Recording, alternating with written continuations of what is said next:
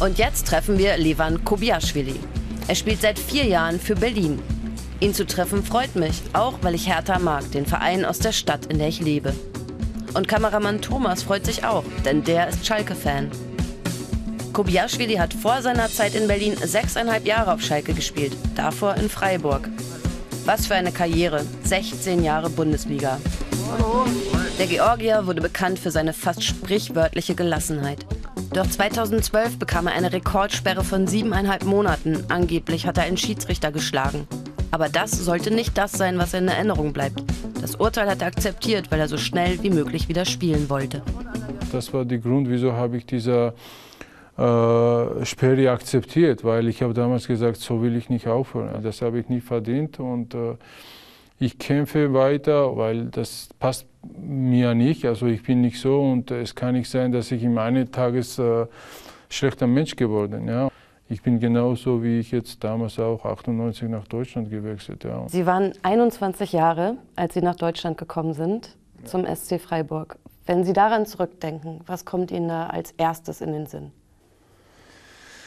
Ja, also ehrlich gesagt, damals, ähm, es war so, ich habe vorher nicht gedacht, dass ich äh, überhaupt nach äh, Bundesliga oder nach Deutschland zu kommen, weil meine, meine Gedanken im Fußball, in meiner Karriere, es war ganz anders. Also ich wollte nach, unbedingt nach Spanien oder in Spanien zum Fußball, weil das gefällt mir immer noch sehr. Und ähm, da habe ich äh, einfach so passiert, dass ich nach, plötzlich nach Freiburg gewechselt, nach Deutschland und bis heute spiele ich hier in Deutschland. Und damals war für mich war was ganz Neues, ganz anderes. Also neues Land, neue Sprache. Ich konnte kein Deutsch sprechen. Das war ja 1998. Das ist ja von heute aus betrachtet auch irgendwie eine andere Zeit, wenn man sich Stimmt. überlegt, da war gerade Frankreich Weltmeister geworden. Der erste FC Kaiserslautern war deutscher Meister. Google wurde erfunden. Wenn Sie da zurückdenken an diese lange Zeit, was, was sind denn so die größten, die, die stärksten Veränderungen, die Sie miterlebt haben?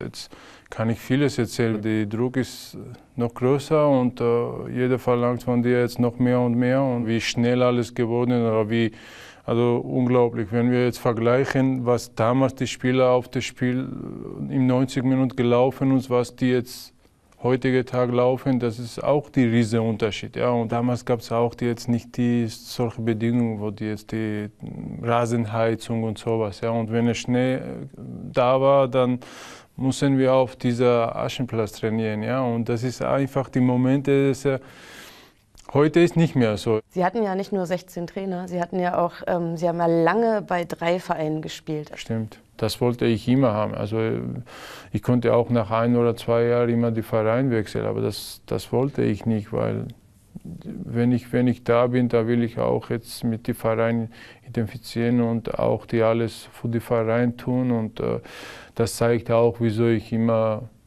lange in meinen Verein gebunden war. Ja. Wenn Sie jetzt zurückschauen, was kommt, welche Erinnerungen sind die schönsten? Es gab vieles, also zum Beispiel ja, meine erste Bundesligaspiel, ich würde das oder meine erste Bundesligator, mein erster Aufstieg mit Freiburg vieles, ja, dann in Berlin letzte zwei Aufstiege erlebt, das war, das war einmalig. Also alleine nur diese letzten Spiele, ja, Olympiastadion und äh, wo volles Stadion äh, und äh, wo ich die jetzt die Leute die Gesicht geschaut und das war diese Freude, dieser Lachen, Lächeln und alles. Also das war einmalig und äh, das werde ich nie vergessen. Was müsste denn passieren, damit Sie noch eine Saison länger spielen hier bei Hertha?